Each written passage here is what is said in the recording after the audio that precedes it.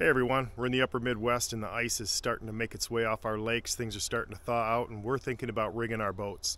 Stick around, I want to talk about front dual bow mounts today and I've got some products to show you that I found that I think will make this season better for you.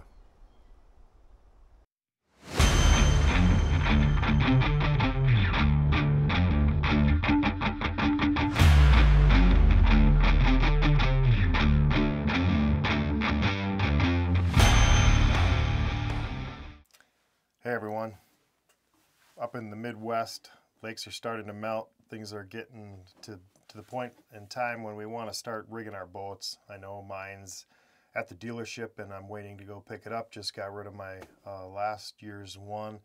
Sold it to a fine gentleman from Chicago. He and his boy are going to do some bass fishing with it. Super excited about that. Can't wait to get on the water and help them. But I also can't wait to get mine rigged up. I've got a bunch of equipment ready to put on it. Uh, I think it's going to be my ultimate rig. But one of the things that I looked for, and I had a few videos this winter on uh, some of the electronics, like the LVS 34, the Garmin LVS 34, and the uh, uh GPS Map 1222, that 12-inch screen. And then I'm going to have a Helix 12 on the front that's attached to my down imaging of my Ultrex. And I'll also have the uh, Humminbird Mega 360 on that 12 uh, inch helix as well. And those two big 12 inch graphs are going to be up at the front of my boat. And so one of the things I researched this winter were products on mounts, like double mounts for the front of your boat. And uh, you got your standard bass setup, maybe with a recessed foot pedal for your trolling motor, and then you've got a setup like mine, which is a little bit different, but I'm still looking for that style of double mount to take those two 12-inch uh, graphs, and I want serious stability in rough water, uh, and I want something with some adjustability and some maneuverability to get it, you know, positioned right so you can see it, angles in the sun, out of the way of your trolling motor and things like that. So um, I've uh, uh, been looking at some products over the winter and I've landed on uh, some and I, and, and I want to show you a little bit about what I've found. And uh, bear with me a second while I get my layout right. But uh, first one I looked at was Boat Logix. Um, and that Boat Logix unit, I think there's a patent pending on it for the maneuverability, but you can see it's kind of a it's kind of a maneuverable style where you tighten down with an Allen wrench. Um, and it's got the two top uh, brackets on there. It's all aluminum. It's got stainless hardware, 18 inches of total width. Uh, I guess one drawback, in my opinion, is it uses the stock gimbals and you know those gimbals uh, you, well, you might have uh, eighth inch aluminum on the rest of this bracket here you've got you know the the uh, uh, gimbals from the from the manufacturer and, and that then will be the weak link I think on this one. And it claims that all current graphs fit and they got a $465 price tag on uh, that particular unit. Uh, that's one. And so I took a look at that. Uh, I had last year uh, a mount uh, called the G2 mount made by G2 Marine. You'll see that at the end here. I'll pop up a picture of my setup. But that G2 Marine one was a two-piece uh, unit. Uh, it's all aluminum. Uh, it's got universal holes for the gimbals. It came with stainless hard. I think the stainless hardware was an upgrade. Actually, it came with stainless hardware, and then theft deterrent type hardware uh, was an upgrade uh, for it, but that was just uh, the deterrent, you know, from ripping it off your deck uh, or whatever. And that one came in at 250 bucks. It was super solid. You bolted it down to your deck in three places. Um, but it didn't have much maneuverability. As you can see, you could tilt the units, you know, you could tilt them back up and down on its on the manufacturer's gimbal mounts as well uh, but you didn't have any back and forth maneuverability on those. So that was the second type, and I've had this one. Uh, I would say it's a good product, lacked some of the maneuverability I think you'll need, and mainly you're going to need that to get it out of the way of your trolling motor. You know, the trolling motor comes right through that area at the front of your boat, whether you're a flat bass style boat or whether you're a multi-species boat like I've got with a raised front um, you're still, you know, the trolling motor's mounted up there and it's going to get in the way, so you need some maneuverability. And so the last one that I found that I really liked and picked up was BoatEFX has a, a locking dual graph mount. And they had started making the locks. They make steps uh, one of the primary things they started with was aluminum steps from your trailer up into your boat, and I've got those as well, and that's going to be awesome. We'll do a separate video on that. But uh, late here this spring, they put put together this locking dual graph mount, and they had been selling those locks, and those locks they were selling for 60 bucks a piece, I think, two for 120 if you purchased them if you purchased the locks separately. And, and the locks were something that intrigued me because last year on that G2 Marine one, I didn't have any locks. And, and if I went into a quick trip to get gas, I was nervous about somebody coming up, popping my electronics off and walking away with my $2,000 graph, you know. So, so the locks uh, keep people honest. They're for sure going to keep the honest guy honest.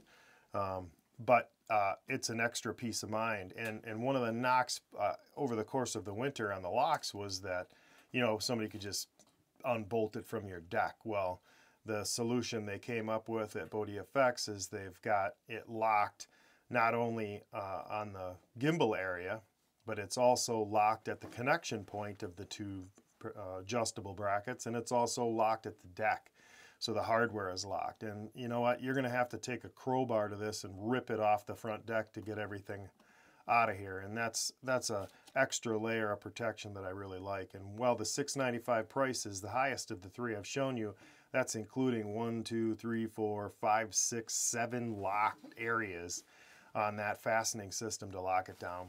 The other thing I like about this is got three points of contact. You'll see a little brace in the back that's pinning it to the deck. This thing is going to be absolutely bulletproof in rough water.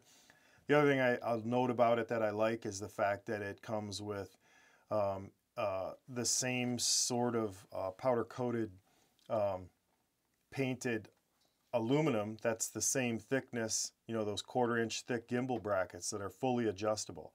So that whole unit will be able to slide back and forth and you'll and you got full adjustability on your gimbal size um, uh, as well. So a lot of adjustability, a ton of security, and a lot of stability in this one. So I picked it up and uh, I got it. And the first thing I noticed is it's super high quality. I got the blue and black one. My I've got the uh, uh, 1750 Fishhawk coming in the blue and midnight black edition. So it's going to be badassery and uh, this is going to look nice on it. Here's the main plate. They come in a couple of different sizes. I got the 18 inch, and that's the total clear width is 18, not the interior. That you know that's foot pedal size.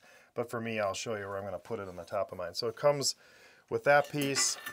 It in the box. It comes in the box. They've got the hardware in the right place to, to, to start with. They've got the lock on there over the top of the hardware. So that piece comes beautifully powder coated aluminum, thick, sturdy, yet still light with the aluminum.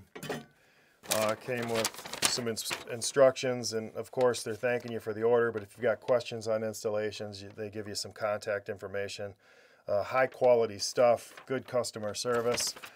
Uh, the stainless steel hardware and the lock mechanisms, all individually labeled packages in here with the instructions on how to assemble it. Um, separate little bracket in the back that pins it to the deck that gives it that third leg and that extra piece of rough water stability.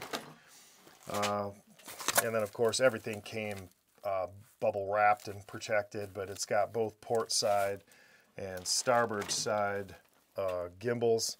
And I like that because, uh, again, the weakest link isn't the manufacturer gimbal. There is no weak link in this particular mount that I can see.